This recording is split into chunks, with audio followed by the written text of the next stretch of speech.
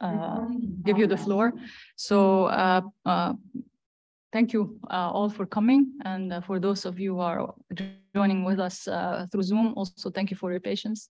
Um, uh, our speaker today is uh, Professor Jose Ramasco. He had earned his PhD from uh, Cantabria University in Spain. He was then a postdoctoral researcher at University of Porto and then at Emory University in Atlanta. Then he's a, he was a res researcher at the ISI Foundation in Turin, in Italy. Uh, currently, he's a staff researcher at the Spanish National Research Council, CSIC, uh, which is associated with IFISC. He's the coordinator of PTI Mobility 2030 of the CSIC, the author of uh, more than 95 articles and speaker of 65 conferences. His uh, areas, areas of expertise are complex networks, mobility, transport uh, systems, entities. So uh, with, with no further uh, delay, I'll leave the floor for you, Jose, and um, then we'll take questions from the audience. Okay, Thank th thanks a lot, uh, Sarah. I'm very sorry. I'm, i apologize for the for the delay. I mean, it was a mistake with the with the time zones. So, uh, well, I mean, what I wanted to to talk here was uh, a series of work that that we have been developing in the last probably mm, five to 10 years about uh, the mobility and mobility in cities. No? Uh, but before that, uh, I wanted to do a, an, a short intro on, on mobility, particularities of, of the mobility, and then we will jump directly into, into cities. No? Um, the the intro is very very i mean this is quite smooth no? so the technical part comes later right? so there is a, the introduction is, uh, is just like uh, the one that i have for a for a class so uh, oops uh, let me see if it works yes so the the structure of the of the talk is something like this so essentially we have some motivation uh, where mobility started how it is how it was let's say developing in in time, and then some short biography, bibliography with uh, uh, some information on the papers that, that uh, I will describe. And then we will look at the, the, city mobility and activity centers, what this means and, and, how they scale with the size of the, of the population of the cities. Uh, and then I, I, will more or less fulfill the, the promise of, of linking the mobility with other aspects of the, of, of the city's uh, environment. No? So essentially, uh, parameters about pollution, parameters about uh, quality of life, parameters about the, the, the, transportation development in the cities. And then um, I will just uh, more or less conclude with, uh, with another final work that we did uh, uh the last year about what happens with COVID. So how, um, while health in cities in the previous line is, is referring to uh, chronic diseases or, or questions like, uh, I don't know, diabetes or this kind of long-term diseases. Uh, what happens when you consider infectious diseases? No? Um, and COVID is a paradigmatic example because of course there are even, even some data for, for tackling that. No? Okay, so this is the, the structure of, of the talk. The starting point is, uh, as I was telling you, is very, uh, very smooth because actually it was prepared for a, a class on, on mobility. So the, the first thing is uh, to think about what mobility means or what it is. Uh, and uh, well, in this case, is, uh, it refers to uh, mobility of persons in a way that will not be just walking. I mean, walking, if you look at the, at the, say, at the history of, of mobility, of course, walking was the very first case. Eh? So essentially people, I mean, the, the humans get out of Africa it depends on the on the species, but there are several uh, waves out of Africa. No, at least this is the most accepted theory. Um, and in the, most of those were walking. I mean, there is no there is no no way to say that there was any other way. No, at that time, the first um, the first records of something that happens not walking was uh, uh the arrival of of the humans at Australia. Uh, okay, because there are the, the, arrival to some areas of, of the area of Indonesia or the Pacific Islands uh, were earlier. Actually, in Java, there are, there are remains for many, many hundreds of years or thousands of years. Um, but uh, uh, the level of the sea of, of those islands had been rising and falling depending on the, on the glacier ages. And in some moments, those islands were accessible uh, on the ground. So, but for instance, Australia was not that case. Australia was uh, an area that has not been connected to the to the Asian continent, and so the the population of uh, of humans uh, in, in the Australian continent uh, has happened uh, by someone arriving on the boat. Okay, so uh, probably the boats are one of the oldest transport media that has not been walking, and this happened in this kind of, you see the how they look like, it's just a, a few uh, logs of, uh, of wood just joined together, or there are some other examples like these ones where they may have carved the, the boat out of a single, uh, single track. No? Um, with those, uh, the, these people were able to arrive Australia at, uh, I think was around 40,000 years before our, our current era. No? So this gives an idea of the kind of, uh, of technologies and development that there was at the time. So most of them were hunter-gatherers and were just searching for uh, new, new, new grounds to get well, food or, or space. No? So this is the very early stages of, of mobility. Then still with boats, uh, things were developing uh, in time. And uh, you can reach to, to uh, examples like this one that we have in the uh, this is the Kon-Tiki uh, boat, uh, is the one that was used in the thousand something to essentially colonize all the Pacific islands. Okay, so this means like uh, areas like uh, Hawaii that are thousands of kilometers of any uh, other inhabited island. So and this kind of boats where you have already a sail are able to do this this long sailing. Okay. Um, okay, so this is a little for the beginning of the history. Then of course, we have um, another uh, stage of the development in the question of, of uh, moving uh, in, uh, in a kind of transportation system. So this, this uh, next stage happened actually in the, in the area where you are now. So essentially in the Middle East, uh, there was a development of the, of the agricultural societies, of course. And um, this may have started something like 10,000 years before the present era. In 7,000 already there were several cities already flourishing, including some of Lebanon and, uh, and Palestine. And of course, uh, between those cities has been observed that there were um, uh, paths and, and, and, commerce, essentially. So commerce on the ground. Okay, so probably we're still talking about walking and probably having some sort of animal like, like donkeys or to, to, to carry the, the goods, okay? Uh, in the case of Egypt, that you also have it uh, relatively close and nearby, they use the, the famous boats to uh, produce uh, a, so, a kind of highway, okay? in the, just using the Nile, you can go from, from the Mediterranean coast all the way down.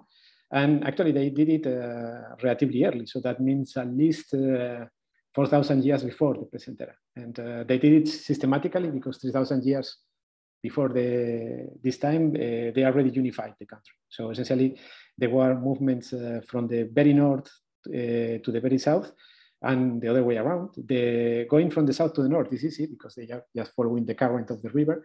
Uh, going to the north implied the, the sailing or rowing, as, as you can see in those in those appears below. Um, of course, this has happening for all the time that uh, the Egyptian civilization has been uh, in there and, and even up to today. So essentially, they, they are not using, well, the sailing is kind of anecdotal today, of course, but uh, but this is still a, a, way to, to, to go through, through all that. No? Um, but essentially, the, the important thing of these questions is that beyond the, the question of uh, of political issues or cultural issues, the, this kind of transportation and the commerce that it was associated to it was moving uh, people, moving uh, goods, moving ideas, moving uh, new technologies from one place to the other. No? And this implies not only Egypt, but all the way to, to the Mediterranean coast of Lebanon and of course Sumeria and, and Mesopotamia. Uh, this development was happening later more and more. And uh, in the next, uh, the next years, we had the development of uh, roads. No? So actually the, the first uh, the first example of a road that I managed to, to find was uh, the Persian I think it's I know the name in, in Spanish, but not in I think it's something like the Royal the Royal Road or something like that. That was crossing the Persian Empire from one side to the other. Okay, that was later followed by the Macedonians, when they invaded uh, the, the, Persian Empire, and um, it was an example where there was a, a main clear, clear main road, no? uh, crossing a huge territorial space uh, and reaching also again to to the Middle East and to your country because uh, in the case of the Macedonian conquest, actually Lebanon also played an important, an important role. No? after that, the Romans essentially realized that that was a good idea. so they started to do it systematically and they produced, uh, uh, starting from Rome, uh, this, the, the, the, main roads of the, of the time. I don't know if because in Spanish they have a different name for road. Uh, so, but I don't know if in English is also the case. No? Uh, well, this these Roman roads, let's say, uh, that started in Rome and they started to spread to spread as the the empire was expanding, and they facilitated again the movement. In this case, it was ground movement. No? So you could have chariots with animals or just walking in those things. And it was developed mostly at the very beginning for mobility of uh, of the troops, of, of the legions, and uh, of the goods that the legions were needing, okay? But after that, uh, of course, they created a, a very dense commercial uh, network. And uh, this is the, an example of how it looked like. Um, and it was, as you see, going from Rome to almost everywhere in Europe, uh, Northern Africa, and, and, and the Middle East. Uh, they join uh, big capitals, big cities, let's say. No? So it's, it's curious to see that uh, this is quite similar to what we have still today. That this is the, the trans-European roads that are the ones that are associated to, to longer travels across countries. No? And as you can see, when you compare the two uh, structures, the things are not so different actually. So they were following more or less the same paths because of convenience. Of course, it was, it was the the, the question. No? Um, this was a little the kind of introductory thing. Of course, the, the, the transportation, ah, well, no, this, this was something else. So uh, the transportation has evolved after that. Okay? So the, the roads were the first step. Then, of course, we have to wait until the 1800s to see the trains. And after the trains, uh, or almost in parallel to the trains, also the metros in, in big cities like uh, like London, Paris, and then later in, in other, in other ones, uh, until almost a generalization of the mobility by, by, by train or metro, actually, in, in the, in the big cities. Uh, in the middle was also the, the trams, and um, almost until today. No? So today we are also suffering a revolution in the mobility in the mobility side that has to do with the new technologies of, of mobility that is, especially, I mean, most, mostly they are uh, electric and uh, they tend to be personal in the sense that uh, they start to be what is called personal mobility solutions, which um, means small devices that allow you to, to move uh, more or less freely in the in the cities. Um, okay, but uh, on that uh, we will go later. Uh, one of the important things of this question of mobility is that I was telling you it was helping to move uh, people, but also ideas and other questions. No? And uh, one of these questions is, is uh, epidemics. Epidemics was moving, I mean, let's say the virus or the bacteria were using us as vehicles, and they were moving as people was moving. So essentially, an example is this one. This is the the black uh, the black, black plague. Uh, okay, that started uh, well, it started in the steppe somewhere in, in the area of Siberia, uh, but later was uh, when it, it, reached to the European uh, and Middle East areas, essentially started in, in the area of Crimea. There was a, a siege of a city there and um, the, the, attackers start to die of, of the Black Plague, um, at least the first documented uh, example. And after that, um, the, the, the, city fell and some refugees uh, flew to, to Constantinople and as you can see in red is the year uh, 1347 where the disease has arrived. Okay, so it went by boat all the way here, still red. Uh, and then uh, also it reached the, the Mediterranean, essentially the, the main Mediterranean harbors of Europe and, and Africa. I think also Cyprus, Cyprus, but not not yet the, the coast. And after that, it started to enter. Okay, so uh, enter into the into the continental uh, areas. So essentially, from the red you have the the blue, from the blue the yellow, and uh, in a few years it managed to to do the whole trip. So essentially, from here all the way up to the north and coming back to the to the steppes. this was reflecting the, the transportation of this time. Okay, so what you are seeing there is how time by time these things have been moving uh, little by little. Uh, if you consider more, more recent examples, like uh, the Spanish flu of, of 1920, 1918, in this case, the, the thing was a little different because really transportation of the time was different. So essentially, the first cases um, were documented uh, much later, yeah? because at the time it was not documented, uh, this question. Uh, were documented in, in, the area of Texas, in the US, and uh, due to the First World War, uh, the troops were being uh, shipped to, to Europe. And actually, the, the first influenza cases arrived France with the troops. And then in, it started to propagate the, over the land.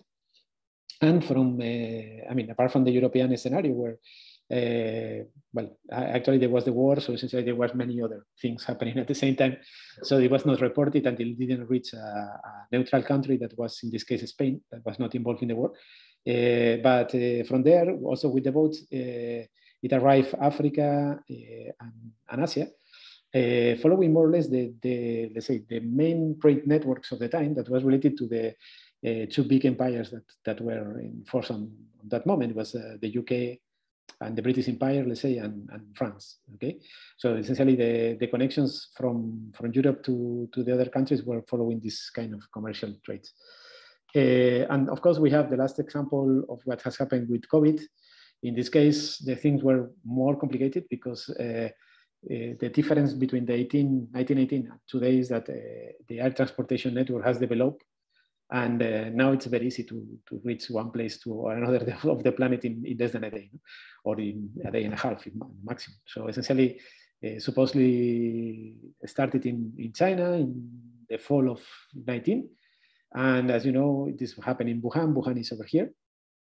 Uh, and Wuhan is the fifth largest city of, the, of China and is connected uh, to almost everywhere. So essentially, there were direct flights and, and it jumped from there uh, to different countries, uh, the US and Europe, I think at the very beginning, and then later uh, it started to move to other other areas, no? like for instance South America, that traditionally even for the influenza is is, is arrived later.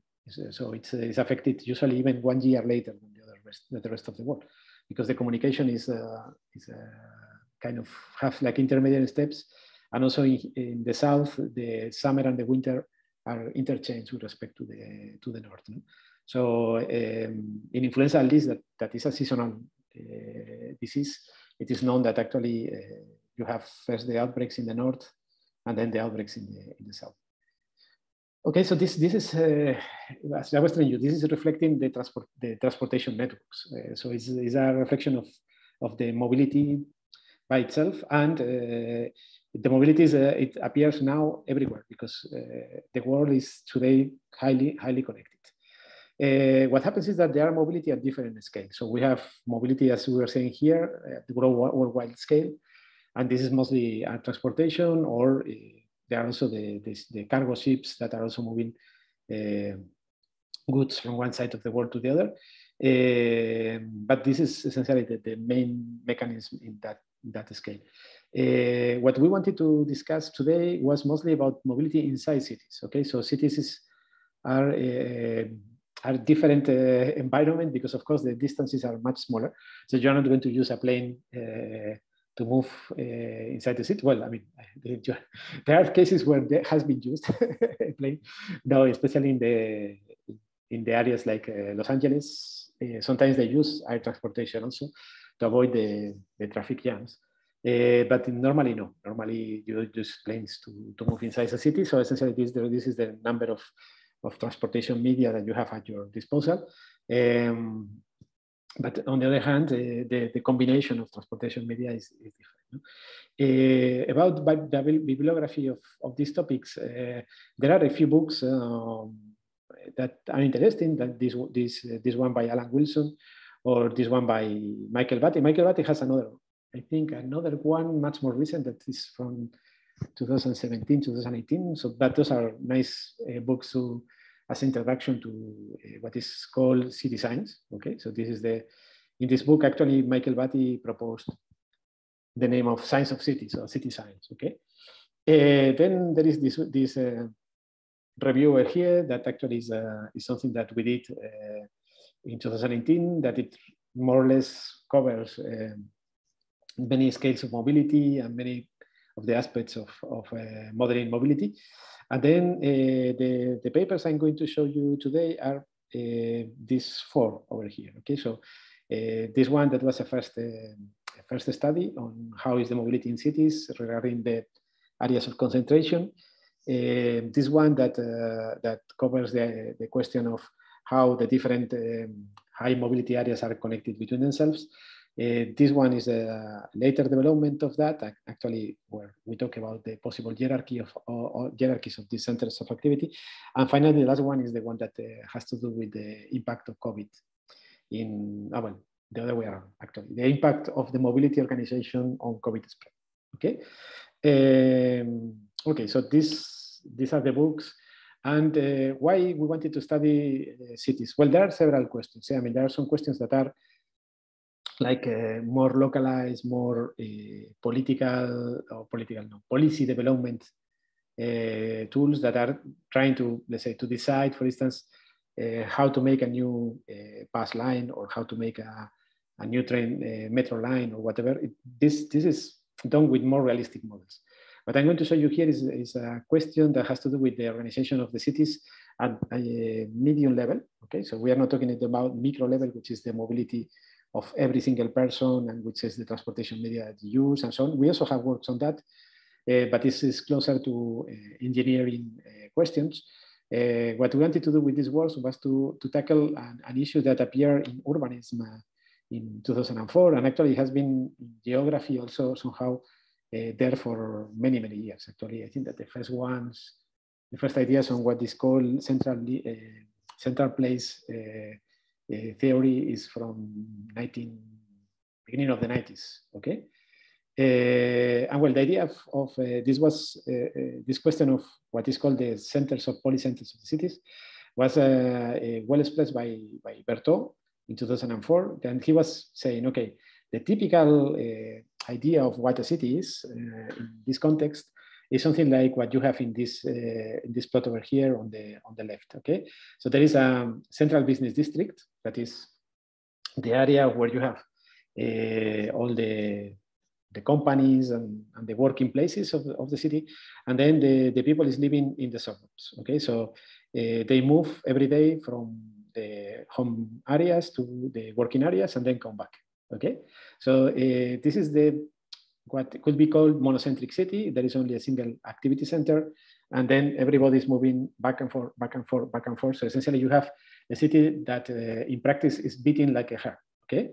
Um, then uh, another option would be to have um, a city uh, like what you have on the right that is, is polycentric. So essentially, you have different activity centers, and uh, well, I mean, it could happen that each of them has a certain basin, basin of attraction where people live in these areas and go to work in, in these activity uh, activity centers and go back. Okay, there can be also some kind of relation between these centers uh, that at the beginning was not very clear. Our, our, work is about the relation between these these different centers. Okay, and then of course you can have a completely random city, which is that everybody connects uh, like crazy and then make no sense. Also, this is an extreme case, and also uh, a case where it's a mix between monocentric and, and uh, kind of random.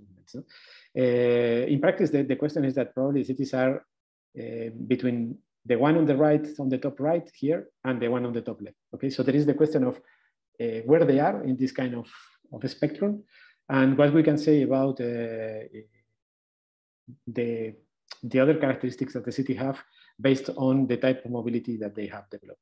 Okay, so um, this is a little idea. And for this, we need uh, data because uh, Bertaud was uh, just uh, hypothesizing here how should be the organization of cities, but there was no data on that time uh, to really be able to see what uh, was happening. No? So actually the first, uh, the first works on, on the use of what is called non-conventional data for measuring these kind of questions started in 2005, 2006, and, and a little later. No? Um, okay, so the data that you need for this is uh, data that has to do, um, I mean, because before that, the, the, the, usual thing was done with surveys. And with surveys, you can get some of these uh, reflections, but it's, it's not so easy to, to get that information. So the, the data that uh, you can use for this is mostly data based on, on the new technology. So essentially mobile phones, um, social networks, that are giving you a, a geolocation uh, and a clear time where people has been in different places. And then you can really uh, estimate almost in real time, which is the flows of mobility of how many people is going from one place to another place. Um, and this, this will give you the reflection of these uh, mobility patterns that we're seeing about cities, okay? In this first work, this is the one from 2014 that I was telling you, uh, what we have was um, an agreement with a company uh, a, a telephone company, okay, that uh, cover uh, most of Spain.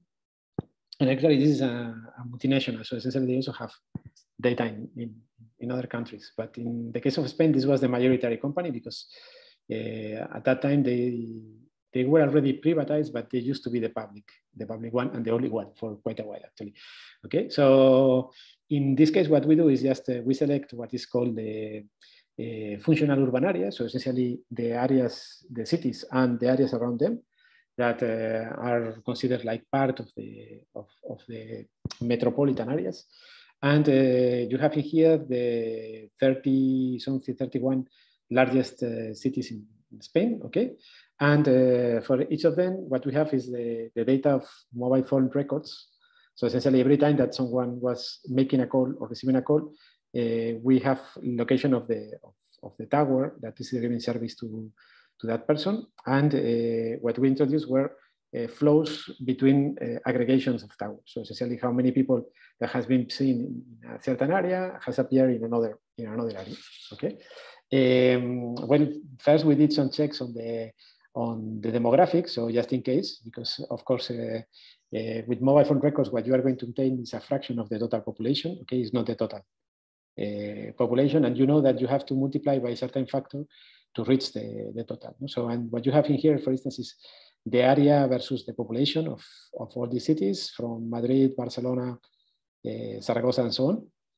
And in here on the on the right, what you have is the average density uh, as it is in the in the census. These are the the full cycles, and the the crosses are representing uh, what we are finding with the mobile phones. Okay, uh, are deviations, like in here, is something that needs to, to be corrected. The, this comes, for instance, in the case of, in this case, I think it was uh, in Barcelona seems to work uh, okay. But in Madrid, the question is that uh, the fraction of the population that is using that company uh, are, mm, I think it was more than in Barcelona. So essentially, this is why we got a higher value. No? So, but that, that essentially means that you have to correct city by city to get uh, some points that are close to the to the points that you have from the census. Okay, uh, so after doing that, you can more or less trust a little the, the data. The data, as I was telling you, comes in in this this this thing. This is this is the sea. This is Barcelona. Okay, and what you see here are the Voronoi tessellation of the space according to the towers. The towers are in the center of these uh, small polygons, okay? And um, what happens is that uh, what you assume is that they provide service to the closest area to every tower. So if you consider that, what you get is this sort of strange uh, uh polygons. The area that is more, more dense, most dense in, in this or densest area is actually the one that has the center of the city because the, the companies uh, introduce more and more towers where they know that they have more and more clients and they have to give more service. No? So essentially, the center of, of Barcelona is, is over here, in, the, in, this, in this area. Uh, and at this level is where you have the flows. So how many people that appear in one of these uh, polygons is in the other uh, certain time later, okay? Uh, we pass it to, to squares. Uh, in some cases, it was easy because it was, was just aggregating. And in other, we have to, to split part of the, the info.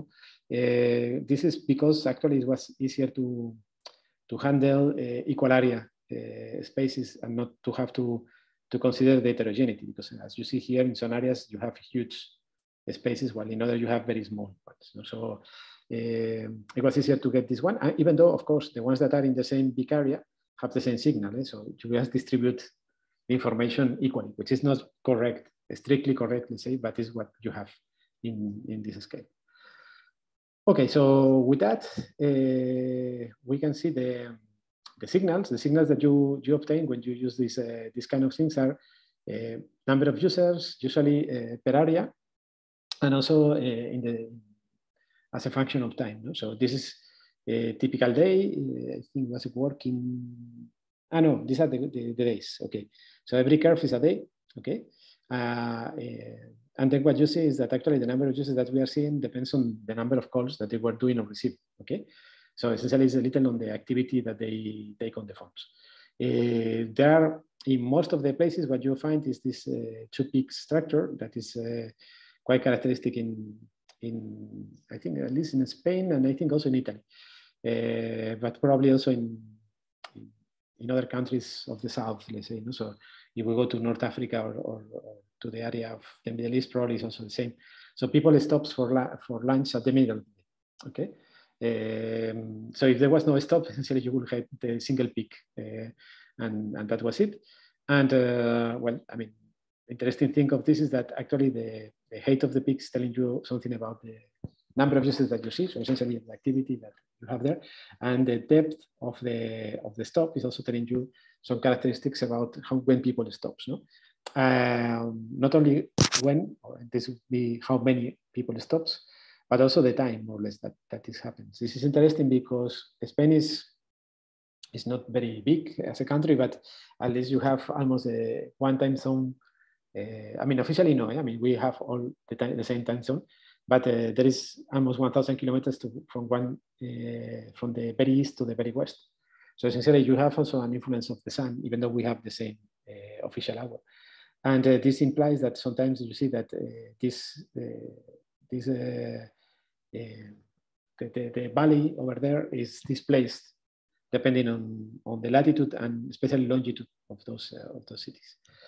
Okay, so this is a this was anecdotal uh, somehow, but uh, we could. The interesting thing is that this is the area of Madrid. Okay, is that we could see how this activity was changing in time, and you can see that that, the city is uh, more or less uh, like switching uh, on and off. in red, you have this is a heat map. So essentially, in red, you have the areas that have a highest concentration of of people, okay? Uh, this is the, in the case of Madrid, this, this area that is here in the, in the middle is the, the center of the city, okay? It's a very long, uh, very elongated center. It's, it's along a huge avenue. And then um, there was interesting also that there are some other, uh, other places like these ones, or even this one over here that is much bigger, that uh, switch on and off in, in red color very strongly, and this one over here. Um, but only for a moment, okay? So this will be centers that, uh, that are only temporary. This means essentially in the case of Madrid, this, this area on the, here on the south is uh, what is called Mercamadrid. So it's the, the area of logistics for the, for the full city. So essentially the goods arrive there very early in the morning and then they are distributed in the, in the, in the full city, okay? So, um, but these are somehow what we are talking about centers of activity. These, these are the centers, okay? So this is a photo of what we want to study directly. Um, we started with a kind of uh, approach that it was kind of, well, let's, let's not measure directly the centers. We will do it later, okay? But in the first approach, what we did was just to say, okay, imagine that we, we define this metric. This one is uh, in every cell, how many people, this S refers to the number of people that is in a, in a cell, okay? So essentially what we are doing is multiplying the number of people in a cell by the number of people of another cell and by the distance between them. Okay, so if two very active cities, uh, two, two, very active cells, sorry, are very far apart, then the value will be high. If uh, the very active cells are all together, uh, the distance will be small, and this value will be will be small. okay? And this one over here is just a normalization factor. So this, uh, this big D is something that uh, will tell you how far apart is the, the activity centers in the, in the city. And uh, it may happen that actually, in, remember the, the monocentric idea of the city. So as I said, you have a city that everybody's living in the suburbs, going to the center, uh, going to the suburbs, going to the center. So if this happens, this D, uh, when they are uh, in the suburbs for sleeping, then there will be a, a, big number. And when they are in the center working, it will be a small number. So essentially, the fluctuation that you have in time will have a maximum and a minimum, okay? And if you measure the difference of D between the maximum and the minimum, what you will be observing is a sort of dilation of the city mobility, okay? So these are the examples of the cities like that. This is the D in time. And what you see is that in Madrid, uh, you have a maximum and a minimum that are the two high, but relatively close, very nearby. Seville is a kind of middle case. And then Zaragoza is a, a city of 1 million people, more or less, uh, is the extreme case on the other extreme. Okay, so essentially what you have is the, the maximum and the minimum very, very clearly separated.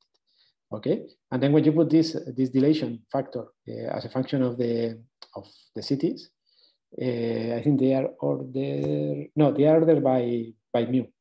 Okay, so from bigger to smaller. Actually, the smaller is Madrid, the smallest value. And uh, the second, I mean, Barcelona is this one because the size of the of the circles respond to the to the population. Okay, so Barcelona is the second largest uh, population uh, city in in Spain, and um, they are all characterized by uh, small values of mu. So as I say, that means that people is not uh, fluctuating. The population is not fluctuating so much. Okay, in those big cities. In there are some intermediate cases, and then there are this, what we could call segregated cities. Uh, that includes uh, Zaragoza. I think is one of these points. Okay, so it's what we are seeing as a city that is really beating like a, like a heart, if you want. So this is one almost a, an example of sort of monocentric city. Okay, um, this was with this kind of parameter just to characterize a little the, the phenomenon. But uh, then the question is that, as I was telling you, we were having the photo of what we want to study. So we were seeing um, activity centers in the in the previous video. And uh, the only thing that you need then is to, to establish a, threshold to decide, okay, this is a high activity center or this is not a high activity center. So uh, we developed a method uh, in that uh, this work that was to try to establish the, the, threshold in a natural way. So essentially we use the distribution of, uh, of activity uh, to generate a, a, Lorenz curve, which is as the fraction of, here you have the fraction, I mean, you order the, the cells by activity from the smallest to the highest, okay? And then what you do is uh, to represent the fraction of cells on the x-axis and the fraction of activity, of total activity up to that point in, in the, the y-axis. If the, every cell have the same activity as the other, this goes in the diagonal. If not, the curve deviates from the diagonal. The more it deviates, the more unequal is your distribution, okay? And actually this, this kind of curve, this Lorenz curve, are used to calculate the Gini index in economics. Okay, so uh, Gini index uh, uh, high means uh, the Gini index is the area between these two uh, two things, so between the diagonal and the blue curve, and uh, the, the, the, the higher it is, the, the more unequal is your, your society. Okay, in this case, what we did was to cut the, the Lorenz curve at one one, and then do the the tangent over here and well, this, this was a kind of natural uh, threshold for, for deciding oh, over here, these are high activity centers, okay? If you do that, uh, you realize that actually the number of activity centers, this is the question of the scaling, goes with the population of the city uh, almost like one half, okay? Uh, this is quite natural because actually this means that uh, we are, I mean, think that the cities are in, uh, in on a space, so essentially they are a two-dimensional object somehow, and uh, the population is distributed all over the place. So essentially, uh, not homogeneously, eh, but they are distributed all over the place. So essentially, that means that uh, the important scale, if you have here one half, is not the population, it's the distance that the people has to move. Okay, uh, and well, the number of centers are is related mm, directly to the distance in the city. Okay, so if the distance start to grow too much, then you a new, a new center is, is, is activated. Okay? And then the people start to, uh, to distribute between the, the different centers. Uh, this is what was telling us this, uh, this, this plot. And actually there was later a work, a theoretical work to discuss all these, all these questions. And, and yes, I mean, actually the, the easy solution was to consider the distance as the main variable in the activation of new, of new centers of activity, okay? well, we check that everything was consistent for different scales and so on. And then we also study a little the, the duration of the centers. No? So because some centers were uh, static, they were all the time there, and some others were activating and deactivating, as I was showing you at the beginning. Um, okay, so this, this was the first work, and actually what we did here was to see, yeah, there are centers, the centers scale with the population a certain way, and, uh, and well, uh, there was a lot of questions yet left about uh, how the centers relates, which are the the connectivity between them and so on. So this is something that we did in yet another work. Luckily for that time, we, we managed to collaborate with people from, from Google and they could give us uh, data uh, not only for Spain, but for many other countries in the world. No? Uh, actually, the coverage is what you see here on the left in the, in the map. And uh, what we did, uh, because the coverage was relatively good in terms of, of countries, not so good about the rural areas. Eh? Okay, so there were some tricks there because um, uh, some thresholds have been imposed to actually uh, ensure the, the privacy of, of, people. So essentially, uh, we didn't have all the data complete. while these thresholds for the flows, so for the number of people that is traveling from one area to the other in the urban regions is not important because actually there are more, more people than the threshold and you get almost the full numbers.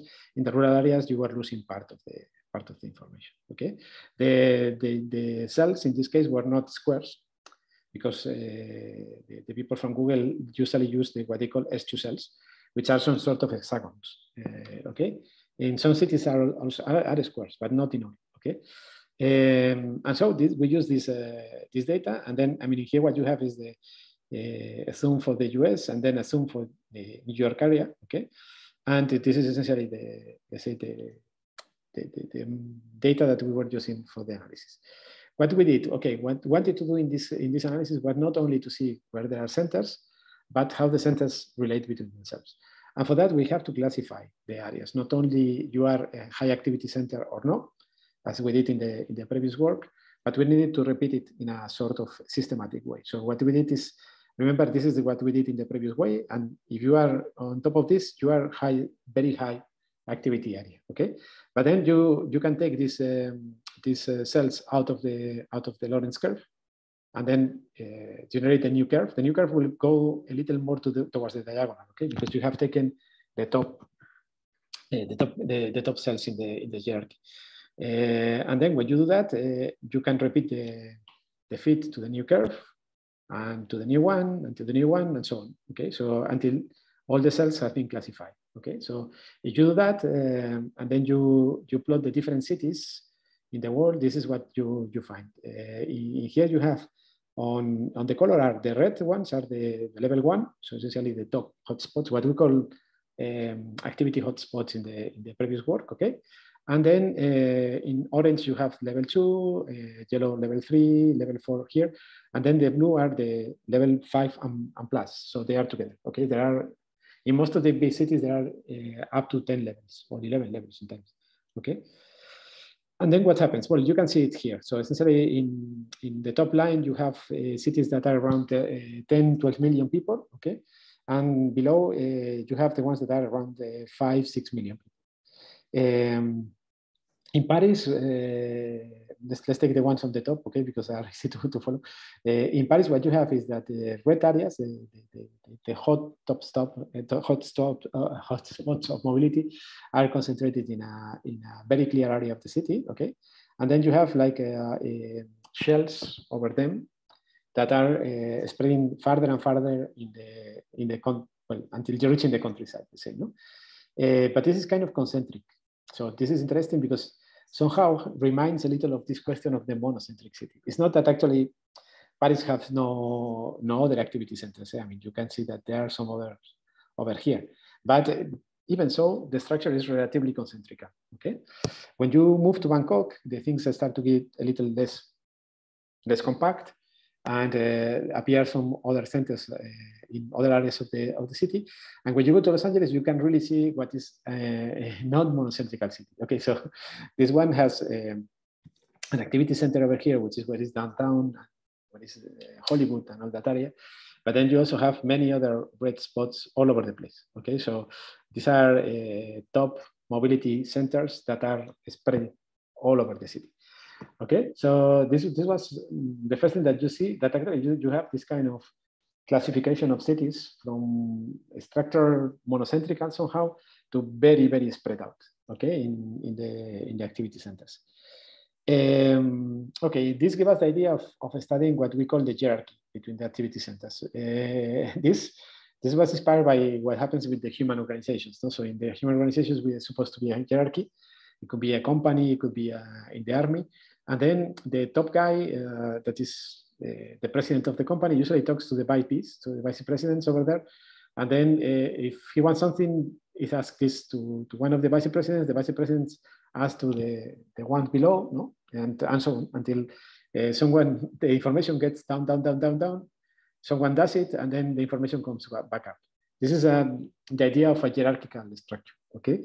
Uh, what happens with the question of the city and the mobility flows? Okay, well, we have the cells that are the areas of the cities organized from uh, in levels. No? So we know that some of them are very important for mobility, some of them intermediate, and some of them not so much.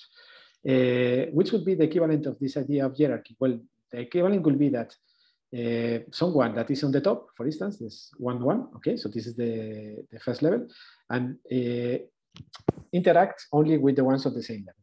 In, in this case, interact means uh, the flow of mobility happens between those two. Okay, uh, so if if uh, it's if it is about hierarchy, this means that the top with the same level or the top with the second level, like yes happens here. Okay. Uh, so the idea is that if the city is hierarchical in mobility, what should happen is that uh, you make this uh, this matrix with the total flow of trips between areas of level one, areas of level two, areas of level three, uh, will be concentrated in this orange area, which means that uh, the, the, the, high level or the level, the, the cells of a certain level uh, have trips between themselves or between them and one level up, one level down. Okay, this will be factually the city will be hierarchical. Say. Um, so we, we also introduce a metric for this, which is essentially how uh, which fraction of the trips are concentrated in the orange area with respect to the total. Okay, and uh, this will tell you if actually the city is structured in a hierarchical way or, or not. Okay, so if you apply that to the, to the previous uh, maps that we saw, like this one's over down here, what you find is that actually uh, what are hierarchical are these cities over here. Okay, so these are the ones that have high values of phi. While the ones that are over there, uh, so like uh, Los Angeles, uh, what they are is on this side. Okay, so these are non-hierarchical cities. You have many centers of activity very separated, and the mobility happens between the, the cells of the different level. They are not organized in, in such a hierarchical structure. Okay. Interestingly, also this this is related also to to the geography. Okay, so in in Europe and Asia, you usually have more uh, hierarchical cities. Okay, so this means that somehow the cities were developed in a moment that uh, probably mobility was not so easy. Like for instance, if we think about uh, the ones in the cities of the Middle East or, or the ones here in, in Europe, they were pro probably developed in the time that uh, walking or going by, by horse was the only option. So essentially, the travel could not be very long. And then the population should, compact, should get compact and um, all the activities or all the services should be concentralized somehow. No? So uh, this is what we see in, in Asia and, and Europe. While in the Americas, that some of these cities and in Oceania uh, have been developed when the car was already available in a massive way, are much more widespread. Okay, so uh, this is essentially what is telling us this, uh, this kind of plot, so that you have this kind of continuum between one type of cities and another type of cities. Okay, so this this would be kind of anecdotal also somehow. Well, I mean, it's interesting for the geographers, I guess, uh, but it was uh, it was not when the story finished. Actually, there, there has been um, a lot of uh, work in geography trying to to find the connection between different parameters of the cities, that usually are related to all sorts of things from education level to wealth in, and income to many other questions uh, towards uh, main variables that are representing the quality of life of cities, okay? And um, they have even created something that is called the, the sprawl index, which is uh, some of these uh, indices that actually, one of these scores that capture 22 of these variables that I was telling you, uh, and gives you a connection with uh, variables based on health, or based on, uh, on pollution and air quality and things like that. So we said, okay, well, why don't we try to use this mobility hierarchy as the main variable, not, not to use these 22 variables of, of uh, all sorts of types of, uh, of uh, information. And let's see what happens. No? So let's see if actually the hierarchy of the city is already informative on uh, the quality of life or the livability of, of the different cities. For that, we need um, a source of, of information for the indicators of this quality of life. Okay, so, and then um, we started by the US because uh, in there, uh, all this uh, in, uh, information, these indicators are, are collected in a uniform way. Okay, so uh, the, the statistical office in there essentially imposes some kind of criterion on how to measure them. And this is easier uh, than to have everything uh, spread. And then when we do that, uh, we have to start this, that uh, first, um, the transportation, so like for instance, public transportation modal share is uh, much higher in central in, in, cities that are hierarchical. Like New York is the most hierarchical city in the in the US. Okay, and this is a, a cause and an effect actually. Okay, so uh, you have a better uh, urban transportation system usually it is developed in a kind of a centralized way. And so it's favoring, it's favoring the, the hierarchy of the, of the city. Then uh, this is also linked to the fact that, of course, the cities have less emissions per capita, okay? Uh, in this case, NOx emissions, which is a, a type of emission that is li uh, linked to, to transportation, to, to cars and, and buses and, and, trucks, okay? And then finally, we try to do the last jump to, to health. And then we did this, this plot. Uh, this plot is the ischemic heart stroke uh, death rate, okay, uh, versus phi. And we found this and we were very happy, saying, okay, wow, the, the ischemic heart stroke is a type of heart stroke that, uh, according to, to the medicine literature, is, uh, is uh, very connected to the pollution in the, in the city. No?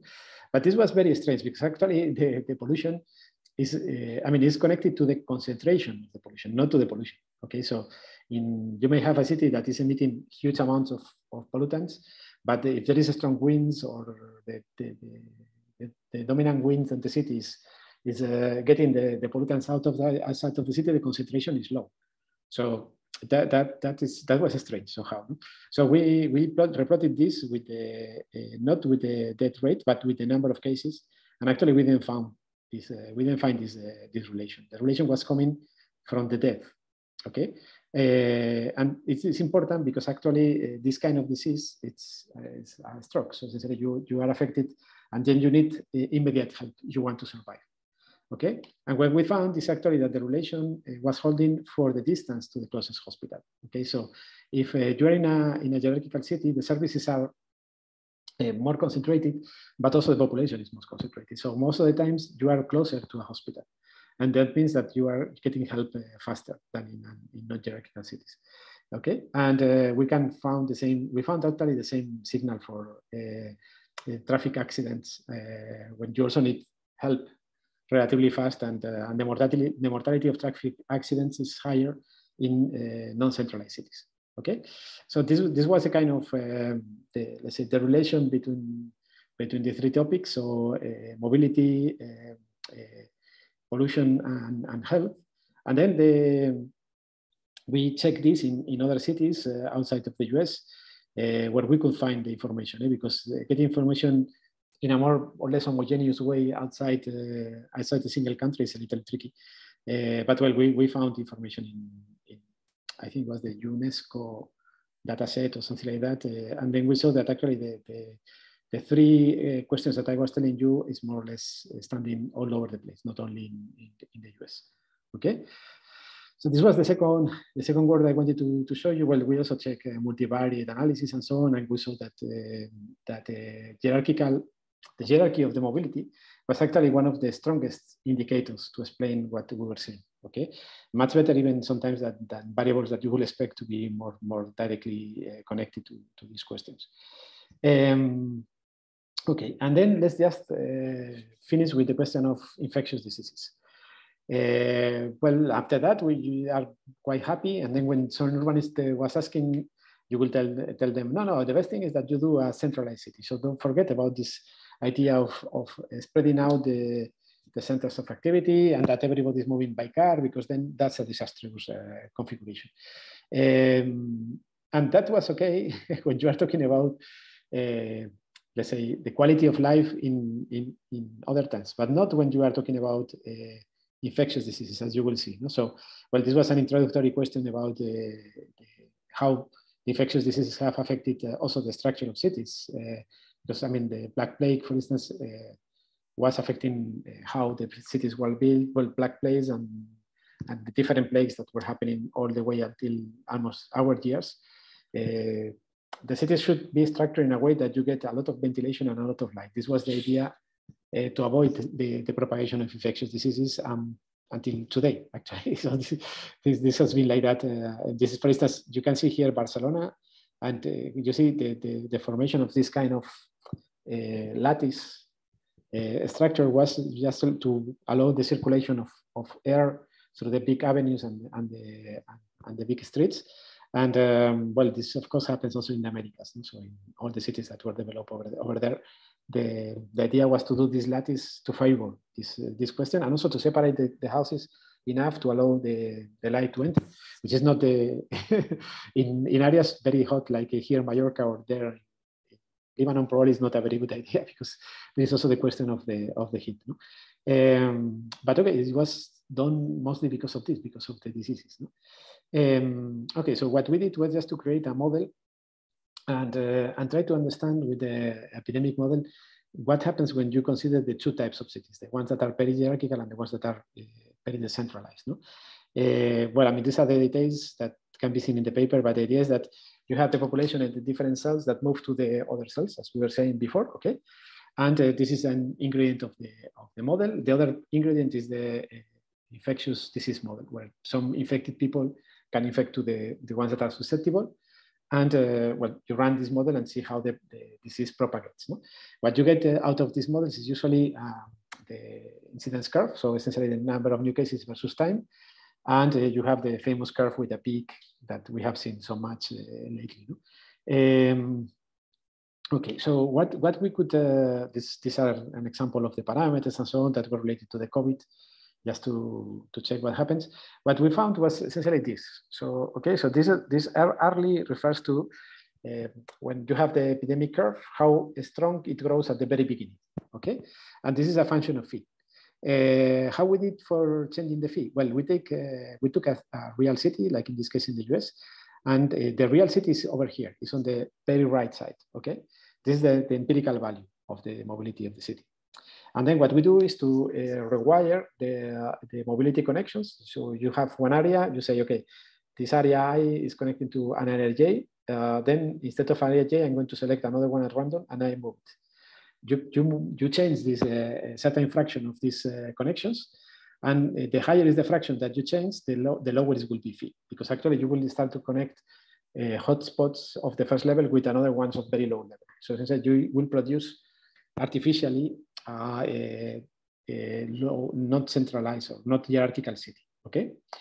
When you do that, you realize that actually um, what happens with uh, one of these diseases is that the, uh, the how the curve starts uh, will be stronger and stronger in you are in a hierarchical city. Okay, so uh, hierarchical cities are characterized, as we were seeing, by uh, an area where there is huge activity of mobility. So essentially, people goes there, they mix over there, and then, of course, the, the disease grows much faster. Okay, so this is the, the first result. The second result is that, uh, unfortunately, also in epidemics, this is common. So essentially, if the thing goes up very fast, it also reaches a very high peak.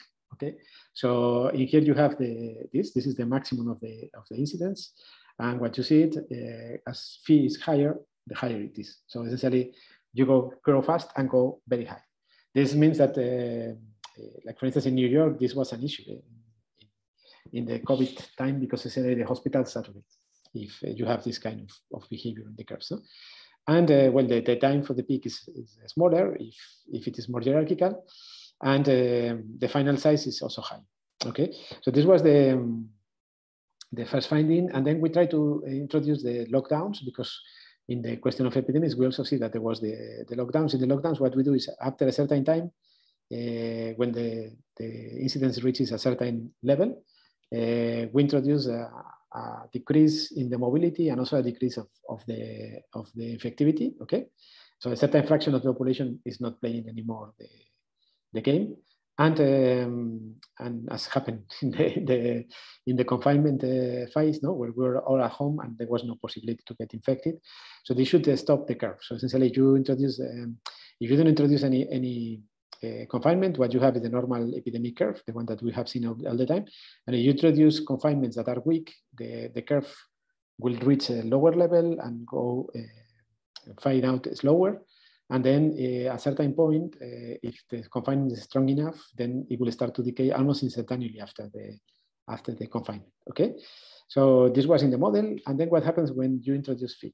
Okay, when you introduce phi, there is something very curious that may happen, okay? So, uh, so you, what you see is that the final size of the epidemic, as you were saying before, if the confinement is not strong enough or this is zero four, okay? So this was a weak confinement uh, what you get is that still the, the hierarchical cities are going worse. Okay, so they are they are the ones that have the, the, the worst moment uh, for the number of people infected. This is the final size. Um, if you introduce uh, a, a, little earlier, I think this PTH was the time that you were introducing the, the, the, confinement. If it is a little early, you get a little better result, but still the hierarchical cities are doing bad. But however, if you take the same, uh, the same time and you introduce a strong confinement, then what you see is that actually this curve goes down.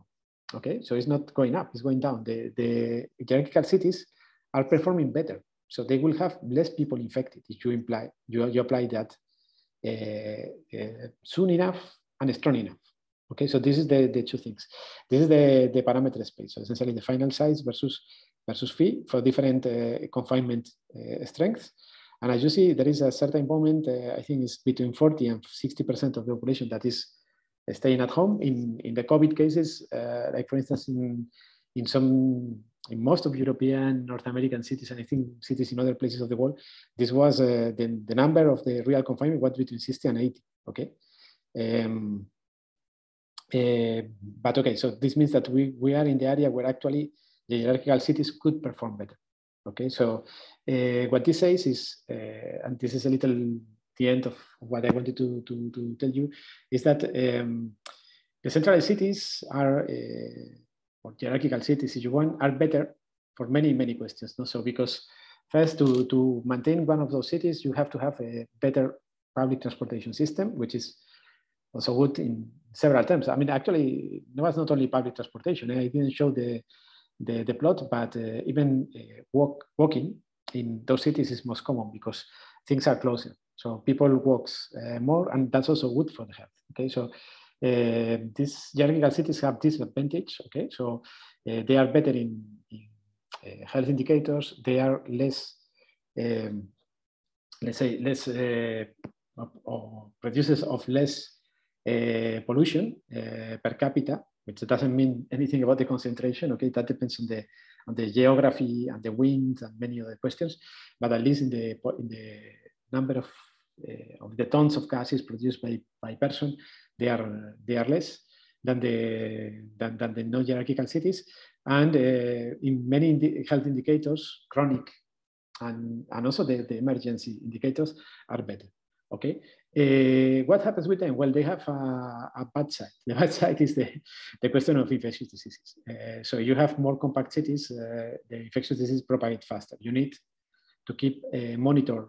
You, you, need to monitor well the, the, the, possible emergence of, of new infectious diseases, like happens with COVID. But even on that, there is a good side. So essentially, you are able to introduce measures fast enough and and uh, strong enough, uh, the, the results will be better than in non-centralized cities where the things are less controllable, okay, because the, the, the centers of activity are widespread. Okay, and um, well, I mean, this is essentially the what we have been finding. Actually, we also have some com comparison of this question of infectious diseases with what happens in the US, in the American cities with the COVID. Uh, but essentially, the, the idea was the same. So essentially, this, this idea was repeated. So essentially, hierarchical cities uh, are more at risk, but if, if you apply uh, strong con confinement, they may perform better. Okay, so well, this this was the essentially what I wanted to, to tell you, and I will be happy to take any, any questions. Thank you. Thank you, Jose. And uh, we'll start taking questions. Um, start with the audience. And I, I can start with questions that I have received. So, uh, Jose, you were kind of blessed with uh, access to data, uh, the mobile phone data, to get uh, all this uh, insight that you have on patterns of mobility and identification of hotspots, which we sh you showed us to be very much tied to uh, uh, optimal policy making, uh, figuring out which cities are polycentric and which cities are, say, monocentric. Uh, in kind of uh, the the areas that we live in and the, the non-availability of data, data for uh, such studies, were there other proxies uh, to, uh, let's say, um, figure out hotspots? Let's say the structure of the network itself, the transportation network, if you overlay it, let's say, over what's happening on the in terms of the mobility or the signals that you're getting from mobile phones, do they somewhat match? Like centers uh, with like nodes with high centrality in relation to hotspots uh, that you uncover from mobile uh, networks? Yes, yes, yes. There is uh, another way to do it. It's, it's, much more difficult somehow, no? But because you have to, to be able to categorize the, the importance of the areas. Like for instance, um, of course, uh, public transportation hubs like uh, central areas will, will be one of these. But the question is that uh, you also have one some of these activity hotspots that are related to uh, very dense resident areas because uh, the, the, hotspots can be classified also according to the, the, type of use that the people is doing on those areas. No? So essentially you may have resident areas that are very dense, you may have very strong commercial areas, and then of course you can have the, the, the transportation, the main transportation stations no? on, the, on the cities. Uh, yeah, the classification could be done without this information. Uh, we also have been checking eh, with other, other sources and even, for instance, uh, Twitter data in, in, some cases is enough to give you uh, an idea where they are. Um, and Twitter is open. So essentially, this was the, the, the, question. No, in the other cases, uh, the, the mobile phone companies and, and, other companies like, like Google could be interested in this sort of research, uh, but you always have to negotiate with them because they are the owners.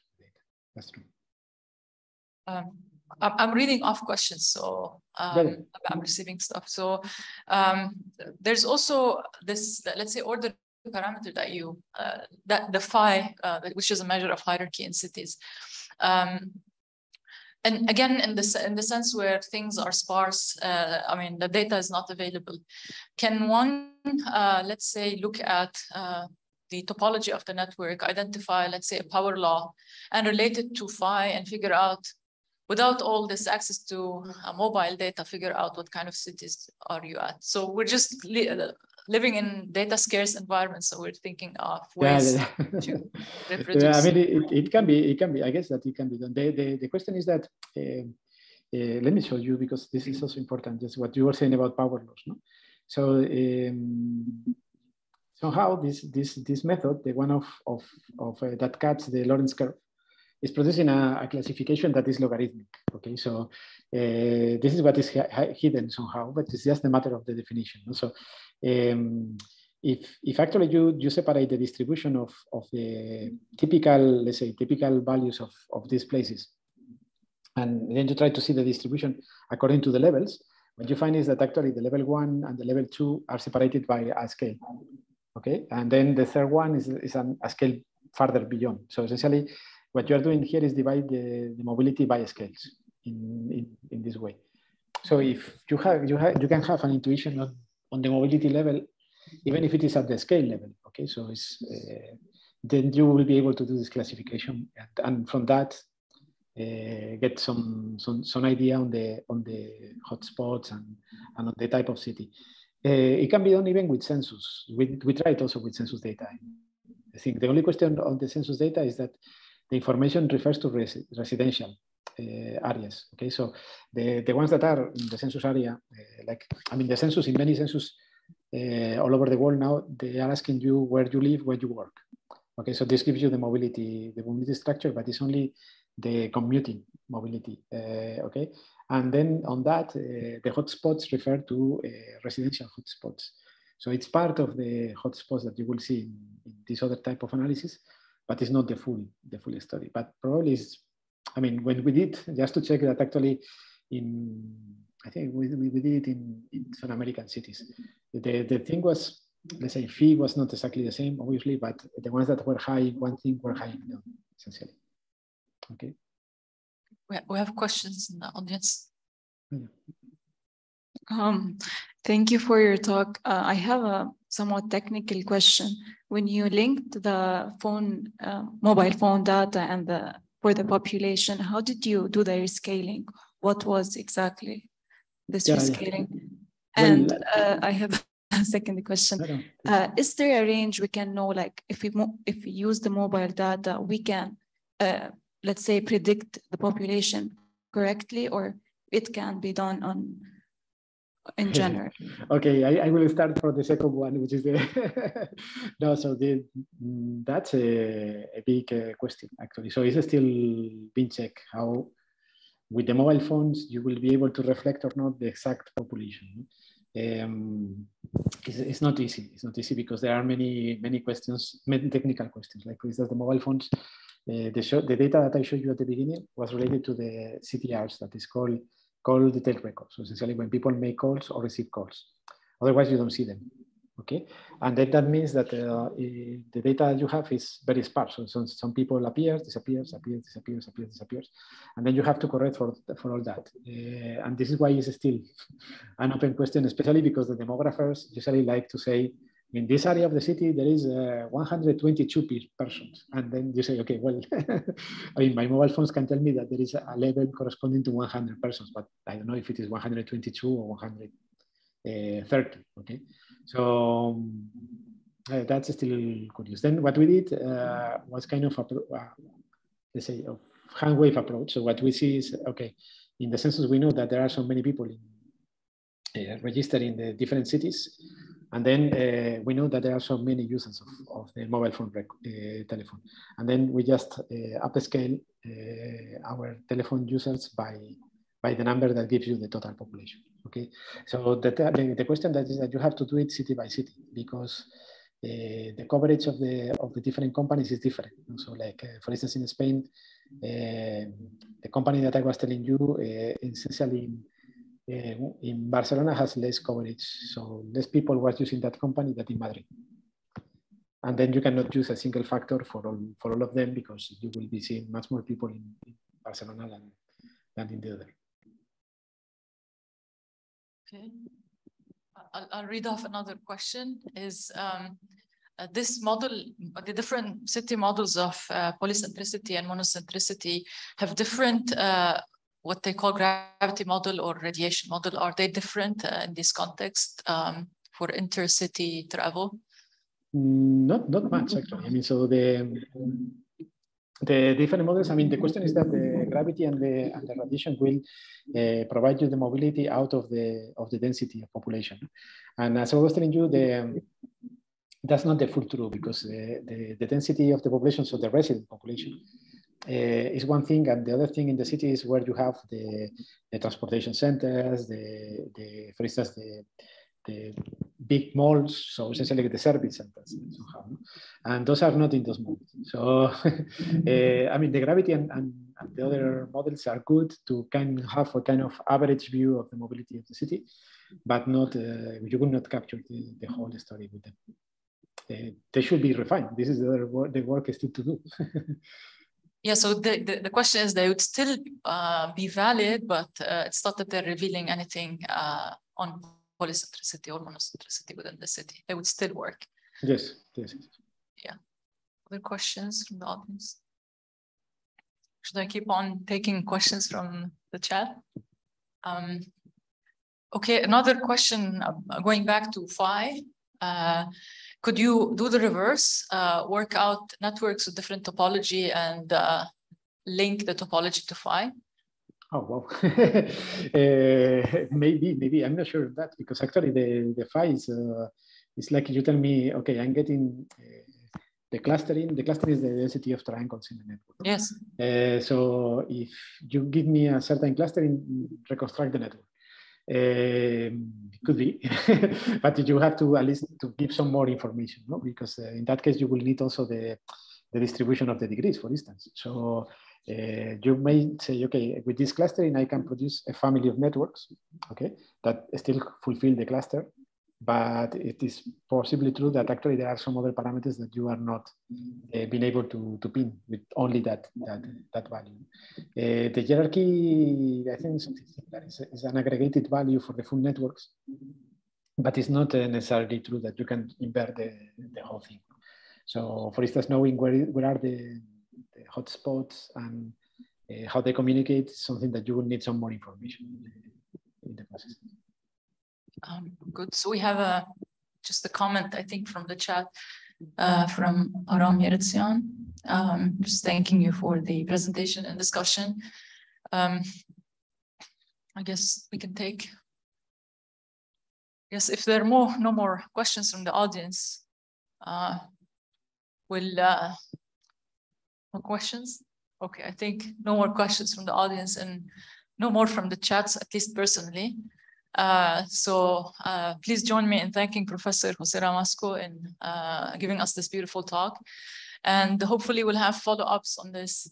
We've been doing this um, analysis for our uh, COVID data in Lebanon, and uh, we've reached so many conclusions that have been implemented in policy. So we'd uh, really love to, to hear what you say uh, about our assumptions in the model uh, mobility and uh, whatnot.